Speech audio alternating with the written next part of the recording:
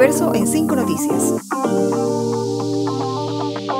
Un muerto y dos heridos por explosión en una vivienda del suburbio que almacenaba petardos.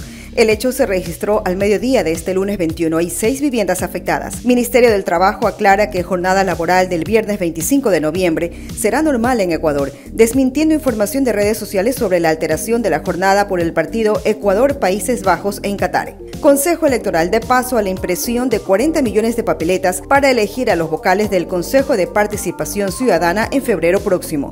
El encebollado y el ceviche, los más vendidos en Guayaquil en el debut mundialista. Negocios aumentaron ventas de sus platos en un 40%.